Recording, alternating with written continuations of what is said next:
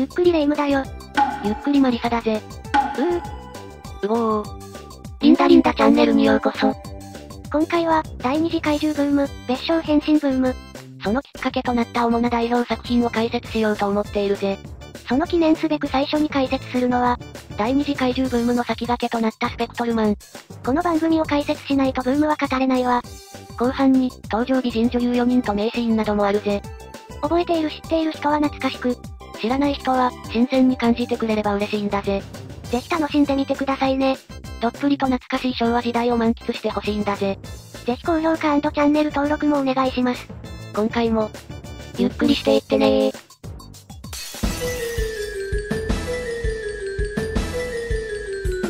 スペクトルマン。宇宙エンジンゴリから名前が変わったぜスペクトルマン。スペクトルマンは、1971年1月2日から1972年3月25日にかけて、フジテレビで土曜日19時0分から19時30分に全63話が放送された。B プロダクションが初めて単独で企画、制作した特撮ヒーロー番組の題名、及びその番組に登場するヒーローの名称よ。番組開始当初の題名は悪役を冠にした宇宙エンジンゴリであったが、その後宇宙エンジンゴリ対スペクトルマンを経て、最終的にスペクトルマンへと改題されたぜ。第二次怪獣ブームまたは変身ブームの先駆けでもあるぜ。宇宙からの侵略者宇宙エンジンゴリの送り出す。怪獣対ネブリュラの星のヒーロースペクトルマンの戦いを書くわ。怪獣に対して主人公が変身して戦うことは、他の特撮テレビ番組と同じだが、当初は悪役が主役、正義のヒーローが脇役という逆転の演出となっていたんだぜ。また、スペクトルマンがネビュラ71優勢の指令により、常にその行動を管理されていて、その指令がないとスペクトルマンに変身できず、地球防衛のためとはいえ非常な命令を下されて苦悩したり、さらに無敵のヒーローではなく強敵怪獣に圧倒されて、敗北することも少なくないなど、独自の作品世界を決定づける新機軸が盛り込まれていたわ。前後編がストーリーの基本とされ、1話完結は全63話中3回だけ、27話、52話、61話であるんだぜ。1970年代前半の第二次怪獣ブームの先駆け作品となったわ。裏番組が巨人の星であったため当初は視聴率で苦戦したが、次第に人気を得て1971年4月10日放送の第15話で、視聴率を追い抜いているぜ。企画としては P プロダクションが1960年代に制作した、パイロット作品ローマンを継承しており、金色のマスク等身大ヒーローと、巨大ヒーローを兼ねた部分はスペクトルマンに、動物マスクのキャラクターはゴリにそれぞれ引き継がれているわ。本作品は、その展開の変化とともに番組名が2回変更されたぜ。第1話から20話が、宇宙エンジンゴリ。第21話から39話が、宇宙エンジンゴリ対スペクトルマン。第40話から63話は、スペクトルマン。地上波再放送では第1話から、スペクトルマンのタイトルで放送されたわ。その際、次のような変更が行われたわ。オープニングは第40話以降のものと差し替えた。なお女性のレギュラー出演者が、1話から40話まで何度か変更になっているが、その部分は劇中カットを使用して、その都度差し替えてテロップも新規に入れているぜ。主題歌は第1話から第39話、アレンジ曲が BGM としてよく使われる。と第40話以降は違うため、第1話から第39話の主題歌は聞けなくなったぜ。エンディングはラストカットの宇宙エンジンゴリア、宇宙エンジンゴリ対スペクトルマンのタイトル部分のみ、スペクトルマンと差し替えられたわ。これは現在ソフトか CS 放送されているものも同じ。エンディングのラストカットのロゴは、宇宙エンジンゴリ時代から、一貫して、スペクトルマンと表記されていた、という説が濃厚。また、地上波再放送のエンディングでは、楽曲は宇宙エンジンゴリなのだの、ボーカルなしメローケバージョンが多用されているぜ。他のバージョンがあるのかは未確認。内容、宇宙エンジンゴリ、第1話から20話。前番組赤い稲妻の打ち切りによる突然の制作決定。1970年12月8日から放送開始まで25日しかなく、辻正樹が一晩で第1話2話のシナリオを執筆。一部にパイロットフィルムを有用した映像があるなど、急ピッチで撮影を行う異例な状況でスタートしたわ。放送当時社会問題となっていた公害がストーリーに盛り込まれ、怪奇 SF 色の強いハードな展開がなされたぜ。毎回の怪獣にも公害が盛り込まれ、ヘドロを元に生み出され、人間を骨だけにしてしまう。猛毒ヘドロを撒き散らすヘドロ怪獣ヘドロン。第1話と第2話に登場を皮切りに、人間を溶かす青ミドロを吐く青ミドロ怪獣ミドロン第3話、鳩とドブネズミを合成させて生み出され、人間を食い殺すばかりか恐ろしい病原菌を持つ、合成怪獣ネズバートン第9話と第10話、新築住宅に潜み、その新築住宅に住んだ人間を襲い血を吸って操り、その血を吸われて操られた人間も他の人間を襲い、血を吸って仲間にしてしまうようになる。吸血怪獣バクラー第19話に代表される。まさに地味猛量。そのもの回帰性を強調した怪獣が少なくないわ。そればかりでなく、ゼロン第3話と第4話や、大地震を起こすモグネチュードン第15話と第16話、といったパワフルな正統派の怪獣も登場したぜ。また、スペクトルマンに変身する。主人公であるガモージョージが所属する組織は、郊外の取り締まりが仕事の郊外 G 面であるぜ。人間側に怪獣退治専門の組織はないわ。低予算ながらも、それを逆手に取った作劇や特撮の工夫もなされていたわ。しかし、郊外問題を題材にすることがスポンサーの反感を買い、悪役であるゴリをメインタイトルにした、宇宙エンジンゴリという番組名も問題視され、番組名の変更と内容の変化を余儀なくされたぜ。宇宙エンジンゴリ対スペクトルマン、第21話から39話。郊外問題を題材にすることをスポンサーのクレームで断念したスタッフは、番組名の変更とともに郊外という題材から離れた、パワー重視の純粋な怪獣を登場させ、正統派の怪獣バトル路線を目指していくこととなるわ。2体の怪獣が出てきて対決したり、2体の強敵怪獣がタッグを組んでスペクトルマンをピンチに追い込んだり、という展開が幾度となくなされ、郊外 G 面が第36話から怪獣 G 面となり、本格的な防衛組織へと発展したりと、主役側も大きく変化したぜ。また、第27話より東映作品を中心に活躍していた矢島信夫が、別所プロデューサーの紹介により特撮監督として参画したわ。スペクトルマン、第40話から63話。ゴリと戦う正義のヒーロースペクトルマンの名をメインタイトルに据え、さらに内容が変化したぜ。怪獣よりもゴリによって地球に呼び寄せられた。ワルの宇宙人との戦いがメインとなり、当時の仮面ライダー人気を意識した。等身大での戦闘シーンも増えましたが、本来の悪役であるゴリの存在感が薄くなったわ。スペクトルマンこと、ガモージョージの孤独な戦いを軸に重厚なストーリーが展開され、ゴリの悪質な地球侵略作戦、ゴリと手を組んだ悪の宇宙人の陰謀に巻き込まれた、罪なき人々が犠牲になる過酷なドラマが続出したぜ。また第59話と第60話においては、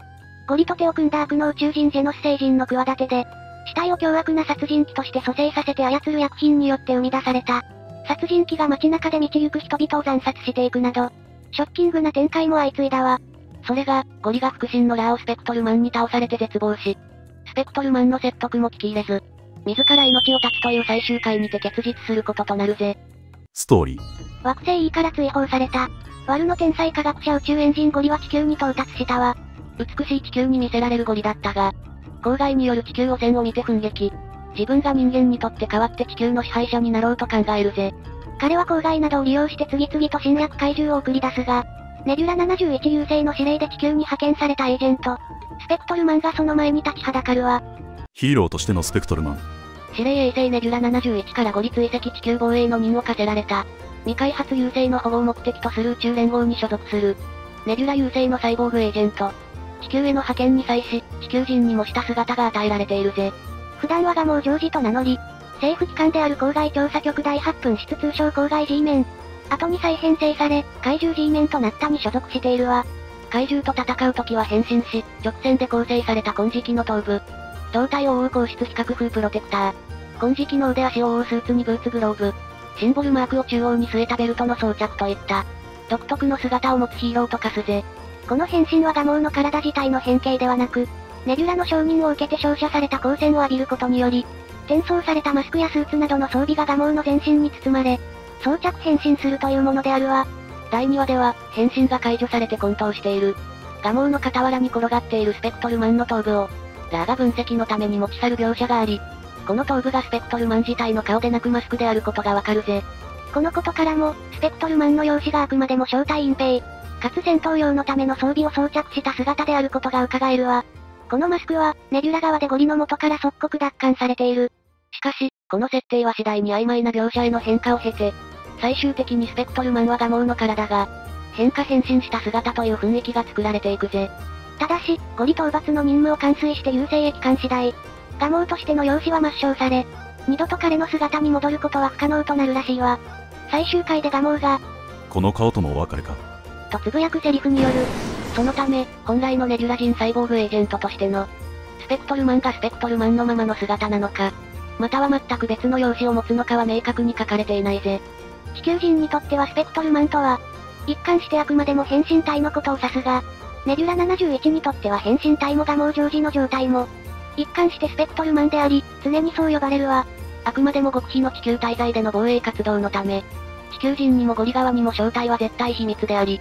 第1話ではネビュラに正体が知られたら解体すると言明されているぜ。しかし実際のところ、第62話でラーに知られた際、ラー配下のサイボーグに痺れガスを浴びせられたのに全く反応しなかったことから判明。や、最終話で木戸口二郎や倉田室長に正体を知られても、ネビュラから実際に処罰されることはなかったわ。変身に際して特にアイテムを用いることはないが、独断での変身はできず、ネビュラからの許可をもらった上でそこからの光線照射が必要であるぜ。一般的には右腕を斜め前方に突き出し、上空に見えるネビュラに変身許可を求めて承認を受けるか、逆にネビュラからの変身指令によって変身するわ。なお、ネビュラを目視できない場合の変身は不可能であるぜ。変身後は自在に。場合によってはこれもネビュラの指示により巨大化できるわ。第20話では富士山よりも巨大化し、数個のガスタンクを火口に投げ込むという荒技を披露したぜ。これは巨大化の限界に達してエネルギーが激しく消耗し、しばらく戦闘不能になるわ。怪獣に苦戦して引き分けるか、あるいは一度もしくは数度にわたり敗北するケースも多く、1エピソードの2話中に数回にわたって、1体の怪獣と対戦し、やっと倒せることが多いぜ。また、必殺技がスペクトルマンの体力を著しく消耗させ、怪獣を倒しても倒せなくても倒れ込んで行動不能になることが多いわ。登場人物。スペクトルマン、ガモ、ジョージ。成川哲夫。この作品の主人公で、郊外 G メンの一員。ネビュラ71からの指令を受けてスペクトルマンに変身し、怪獣と戦うわ。変身を他人に見られてはならず、もし見られた場合は解体されることになっているぜ。しかし実際は一般人に正体を見破られたり、人前で変身したりすることもあったわ。性格は温厚であるものの、自分勝手に行動し、その場からいなくなることも多かったため、メンバーから非難されたこともよくあった。子供と接することも多いぜ。ガモージョージの名は、理論物理学者のジョージ・ガモフをもじって命名されたわ。牛尾掃除はこの名がお気に入りで、後にこのガモージョージ名義で漫画も執筆しているぜ。郊外 G メン。怪獣 G メン。ガモージョージが所属した組織。第35話までは郊外調査局第8分室、通称郊外 G メンで、文字通り郊外を調査する組織でしたが、怪獣、怪物と呼ぶこともある、と関連する出来事が多くなったため、第36話から怪獣 G メンとして活動することになりますが、このことに関しては倉田室長が自ら説明しているわ。これに伴い、郊外 G メン時は、一貫して私服姿で、移動には一般乗用車だったのが、怪獣 G メン時は出撃する際に、サファリルック風の隊員服と、白色のヘルメットを着用するぜ。移動時はジープや、ボントトルエカ、というヘリコプターを、使用するようになったわ。女性隊員のみパトランプ付きのヘルメットを装着しますが、出演者がパトランプ付きのヘルメットに反対したため、女性隊員のみが被ることになったぜ。なんか、恥ずかしい。G メンのメンバーはガモー、倉田を含め、都合9名が登場するわ。男性 G メンは途中交番なく、最終回まで変わりませんでしたが、女性 G メンは都合4名が入れ替わり登場した。その入隊除隊理由は語られていないわ。G メンの衣装は、倉田室長役の大平徹が、自身の行きつけのブティックとタイアップして全員分を用意したぜ。倉田室長、エンジン、大平徹。ジョージたちが所属する郊外調査局第8分室郊外 G メンの室長。フルネームは倉田茂雄。主に調査局内でメンバーとの連絡を取り合ったり、指示を出すぜ。メンバーと共に現場に自ら向かうこともあるわ。テレビ版、漫画版ともにネズバードン編ではジョージの正体に気づいている。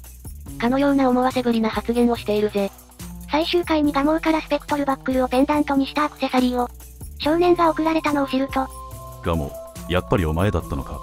とつぶやいているわ。加賀、信義、エンジン、渡辺隆光。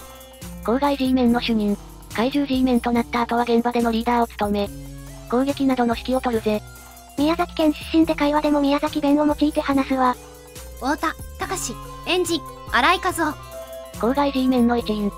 悪意なく軽率に出現をすることが多く、少々そそっかしいところもあるぜ。第52話では麻酔が効いて、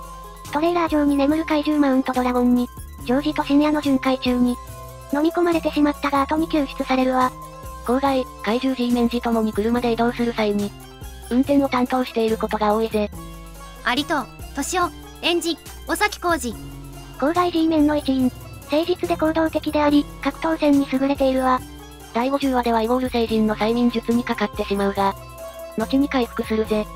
第52話のマウントドラゴンのトレーラーでの輸送の際は、加賀、ジョージと共に行動しているわ。遠藤、理恵、エンジン、小西町子、第1から10、12話。初代女性 G メン。公務員らしからぬスタイリッシュなファッションに。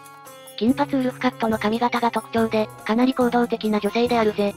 ラーに好意を持たれ、第3話ではラーの姿を見た途端に気絶してしまい、連れ去られてしまうわ。第5話では恐怖郊外人間になってしまいましたが、後に回復しているぜ。立花、峰子、園児、新桜子、第19から35話。2代目女性 G メン。初登場は第17話で、ジョージと同じアパートに住んでいましたが、第19話より郊外 G メンの一員に加わっているわ。家よりはおとなしい性格ではありますが、無謀な行動を取ろうとするジョージを阻止することもあったぜ。第25話など、船長の父親、園児、上西浩二は、サンダーゲイの犠牲になっており、進む、園児、江藤博俊という弟がいるわ。ズートルビのメンバー、第25話では海辺で腕を負傷している、ジョージを発見し、着ている洋服を脱いで水着姿になり、自ら泳いでジョージを救出しているぜ。少し余談になりますが先ほどの進む役の江藤博俊さんはその後ズートルビというビートルズを混じったネーミングで70年代絶大な人気を集めたアイドルグループの一員になります。ちなみに山田隆夫さんはご存知の方もいらっしゃると思いますがおーい山田くんでおなじみの山田くんこと山田隆夫さんです。そして現在の江藤博俊さんのこちら。沢、緑、園児、後藤ルミ、第36から39話。3代目女性 G メンで、怪獣 G メンになってから初の女性 G メン。登場したのは4回と一番少ないものの、ゴリの秘密基地を自ら発見したこともあったぜ。その後はゴリの手下に捕まってしまい、スペクトルマンのことを問いただす。ゴリアラーから厳しい拷問を受けるも、屈しない気の強さを見せたわ。オープニングでは登場しておらず、エンディングで出演者としてクレジットされているぜ。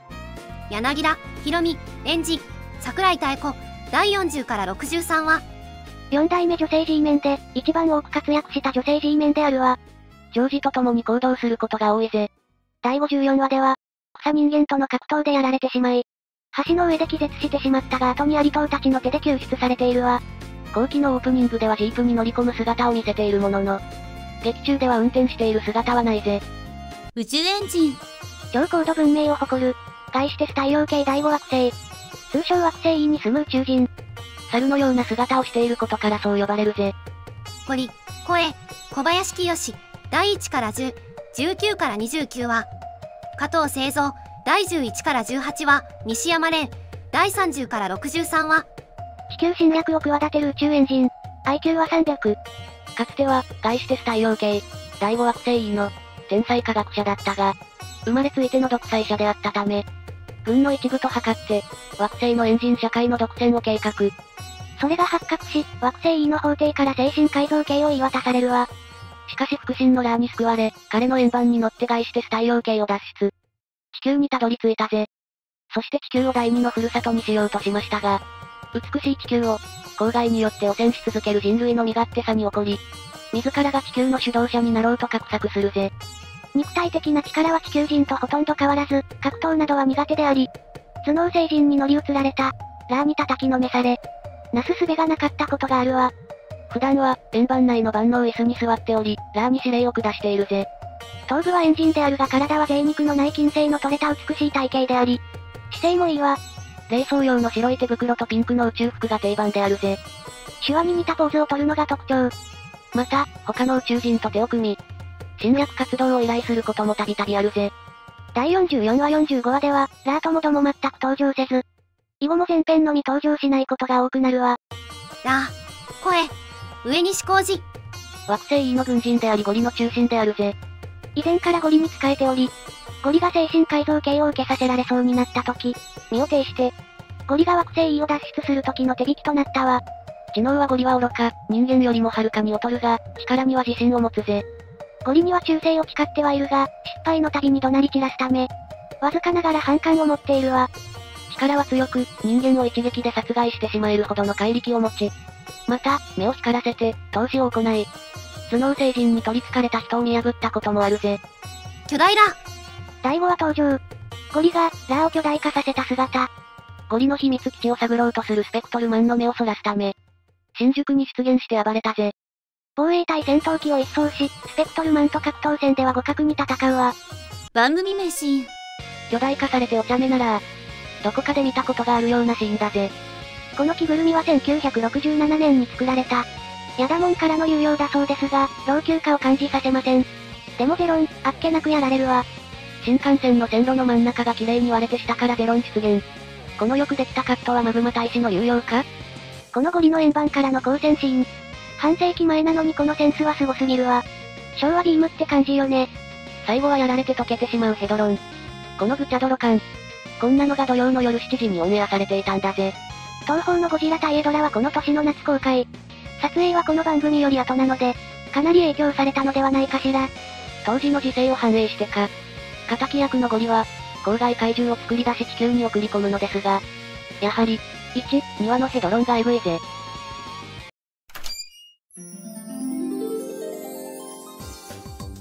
どうもお疲れ様でした。お、帰ってきたね。最後まで見ていただきありがとうなんだぜ。楽しんでいただけましたか？今回は、昭和46年1971年の、スペクトルマンでしたが、楽しんでいただけましたか？この番組がスタートした同じ年に、帰ってきたウルトラマン、仮面ライダーが始まった年よ。まさにこの頃から本格的に特撮がスタートし、後に怪獣ブームという社会現象が起こるぜ。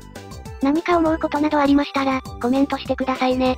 次も、どんどんと昭和のテレビドラマテレビアニメを解説していくぜ。これからも頑張って解説しますので応援よろしくお願いします。よかったら、高評価チャンネル登録もお願いします。次回来た時も、ゆっくりしていってねー。